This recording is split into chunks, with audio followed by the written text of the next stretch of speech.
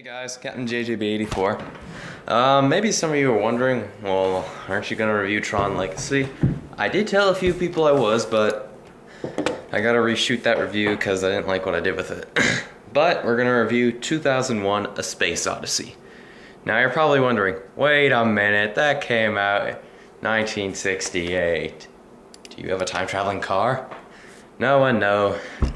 For all those who live in Toronto, um, there's this theater called the Bell Lightbox Theater, and they're playing some old movies. And one of them was 2001, A Space Odyssey.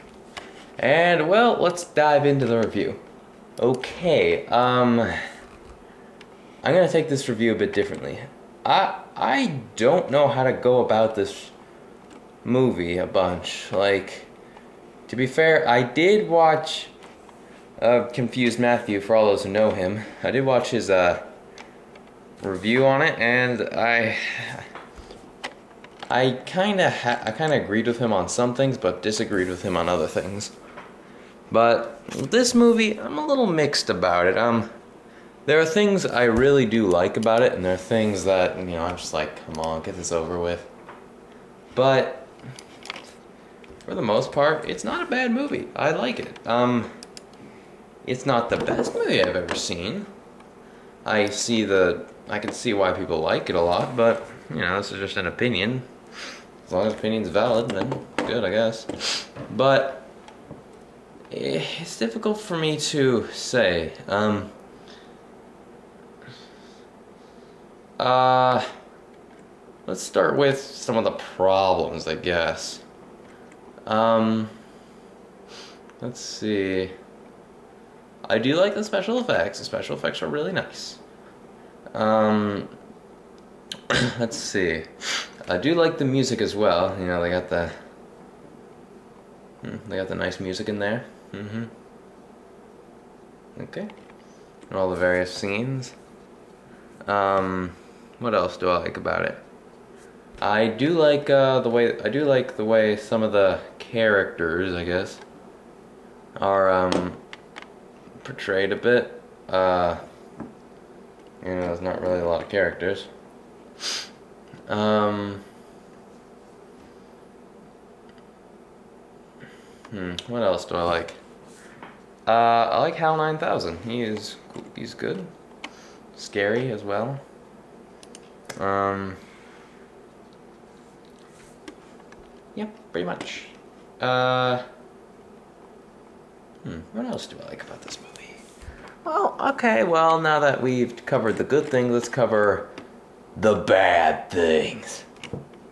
Well, to start off, it's. At first, it just begins with landscape. You know, I know it's the dawn of man, I know there's not much happening, but couldn't you just have like two shots of landscape, then get to the monkeys? I don't know. Um, I, uh, while I was at the theater, there had this, um, it's not like a regular theater, it's a really fancy movie theater. Um, they had a, uh,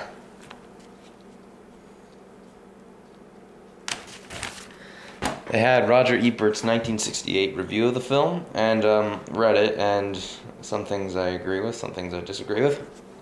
But the things I don't like is that there's a lot of nothing happening. Like, the movie is about something, well, some will disagree, some will agree.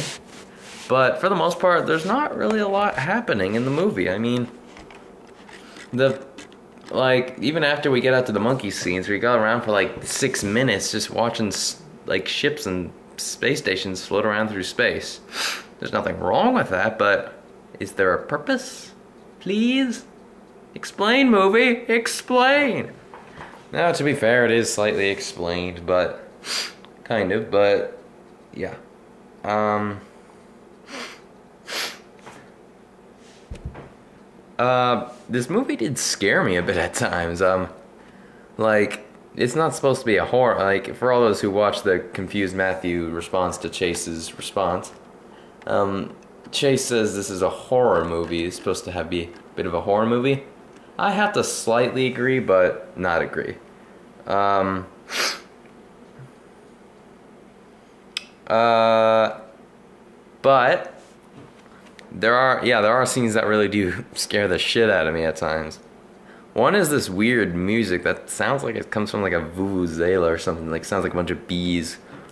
Comes around when the monoliths are. Um, and uh, one is um when Hal kills Frank. It's not even shown. It's just Hal takes over the pod and throws Frank halfway across whatever. You see, and Frank dies of asphyxiation. Yeah, that's nice. The little robot can't make mistakes. Is killing people. then when Hal kills the other three uh, cryogenically, and then um, I did like the music. Yeah. Um, and then uh. Hal himself just scared the shit out of me because I don't like, what's he thinking? He's reading my lip movements. He's probably gonna kill me or something. Um, yeah, he's intimidating. I can't really say he's a villain though because we're not really given a main character. You know, we're not, Dave Bowman's the main star, but, I mean, Dave Bowman's the main character, I guess, but we don't get to see him for a while. I'd say the last half of this movie is actually pretty good. Um, the one I saw was two and a half hours. Um, and uh, just liked it. Um, but yeah, there's one scene where they're flying the ship to Clavius. You just, it's five minutes of just the ship flying to Clavius. Come on, what do you need? But yeah, um, the minimal use of dialogue does get annoying, and the overuse of music, uh, uh, seemingly the same music again and again. Just you know, like it's nice to listen to, but you know, do something a little different. But to be fair, Stanley Kubrick, he's an amazing director. But here's the thing, though. This was a novelization and like a book by Arthur C. Clarke, but for a screenplay or a script, how much did he have to write? Because you like maybe for the opening bit, you know, like landscape this, shot of this, and like the monkeys do this, they discover weapons, the monolith. But I'm curious how long the script was for this movie because uh, I could pretty much write like maybe five pages of script and that'd be the movie. And yeah, um, Stanley Kubrick, you know, he was an amazing director. I'll give him that. Um, yeah. it is a bit sad to hear that this is the only movie he ever won an award for, and that was for the visual effects. Pretty much the lowest of all awards. Hmm, maybe, but. Yeah. Um. But. It's not a bad movie. I like it. It just.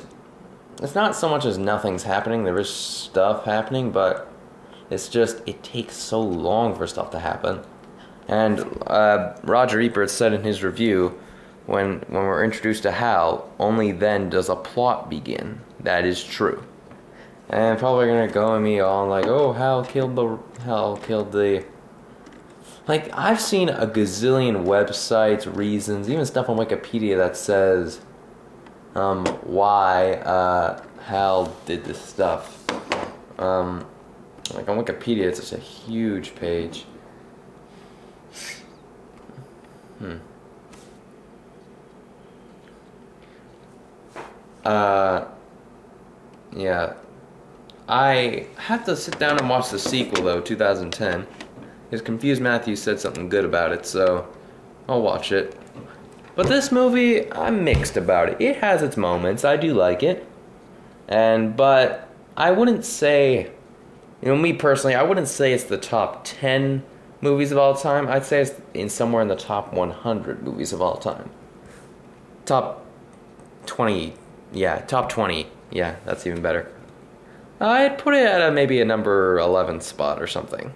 It's, it's pretty good. I mean, you know, for a movie that is essentially something of a new creation, like, um, you know, like not having much of a plot or anything, really does work well. I mean, I can see why it's respected for that. But at the same time, I don't see why, because to be fair, not necessarily a remake, but if a movie was done like this, where they don't have much of a, a beginning, middle, or end, like, well, they do have a beginning, middle, end, but Um, but not not necessarily like a standard brick plot, but that would be shunned for it. Like if someone made a movie similar to the way this was made, or the way this movie works. Not necessarily a remake, but I wouldn't mind a remake actually. That'd be cool though to have like I don't know. I've heard some things, you know, they're gonna have like uh, Tom Hanks, Dave, I guess. I don't know. Um, but you know, I liked it. Um, I have to give it a. I don't know. I'm a little mixed on my rating. Maybe seven and a half out of ten, because you know I was expect like I went into this a little skeptical, but also a little optimistic, thinking you know maybe it's not what I think it is. Like I was I've, seen this movie many. I've seen this movie. This is the third time. This is the second time I've ever seen it. The first time was a few years ago. And looking back on it, like the first time I saw it, I was amazed by it because it was really cool looking. I was like, I don't know, 11, 12 maybe.